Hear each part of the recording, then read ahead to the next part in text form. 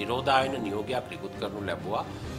කිසිම හේතුවක් මත බස්නාහිර පලාතෙන් පිට නොවන ලෙසට විසි අටවැනිද මේක නිකුත් කරේ විසිනම වෙනිද හෝ තිස්වනිදා බස්නාහිර පලාතෙන් පිටවීම තහනම් කරමින්. නමුත් එම නියෝගයට පටහැනිව කටයුතු කරමින් යම් පිරිස් බස්නාහිර පලාතෙන් පිටව ගිහිල්ලා තියෙන බවට වාර්තා වෙනවා. දැන් ඒ සම්බන්ධයෙන් පොලිස් මූලස්ථානීය විශේෂ නියෝගයක් නිකුත් කළා.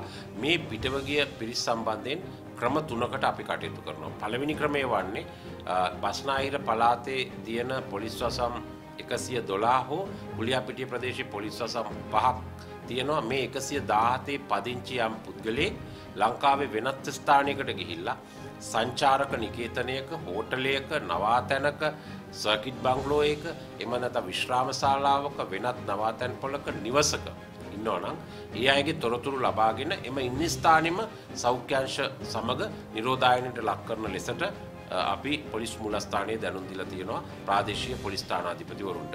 ඒ අනුව සමහර වෙලාවට ඒ පුද්ගලයෝ ඉන්නේ ඇල්ලේ වෙන්න පුළුවන්, බණ්ඩාරවැල වෙන්න පුළුවන්, බදුල්ලේ වෙන්න පුළුවන්, නුවරඑළිය, අනුරාධපුර, යාපනයේ කුමන හෝ ප්‍රදේශයක අය ඉන්නවා නම් ඔවුන් ඉන්නේ ඉන්න ස්ථානෙම ඔක්තෝබර් ඉන්න ස්ථානයම නොවැම්බර් 12 දක්වා කාලයක නිරෝධායන ක්‍රියාවලියකට ලක් වෙනවා. එම නිරෝධායන ක්‍රියාවලියෙන් පසුව ඒ අයට විරුද්ධව නඩු පැවරීමට කටයුතු කරනවා. මේ නිරෝධායනය කියන්නේ දඬුවමක් නෙමෙයි. මේ රෝගය වැළැක්වීම සඳහා අන්තර්ජාතික වශයෙන් භාවිතා කරන මෙවලම ඉතින් ඒ නිසා ඒක දඬුවමක් හැටියට හිතන්න එපා.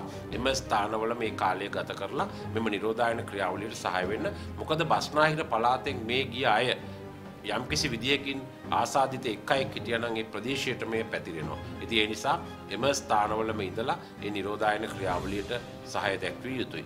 දෙවෙනි කාරණේ යම්කිසි හේකින් අපිට එවැනි පුද්ගලයෙක් පොලිසියට හසුනේ නැත්තම් හොයාගන්න බැරි වුණා නම් අපට සඳුදා උදේට නැවත පැමිණෙන අවස්ථාවේදී බස්නාහිර පළාතට ඇතුළු වන මාර්ග බාධකවලදී ඒ අය හඳුනා ගන්න පුළුවන්. එහෙම හඳුනාගෙන වුන් නිරෝධායන ක්‍රියාවලියට යොමු කරනු ලබනවා. නිරෝධායන ක්‍රියාවලිය දින 14ක් වෙනවා. ඉන්පස්සේ නඩු පවරනවා.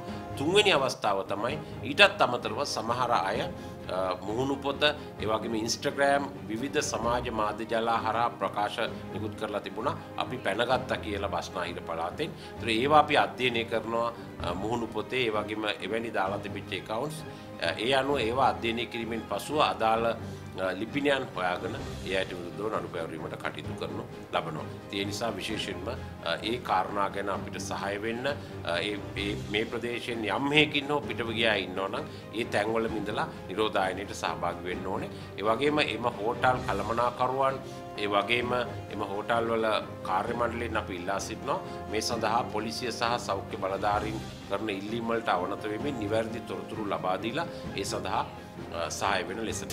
breaking.lk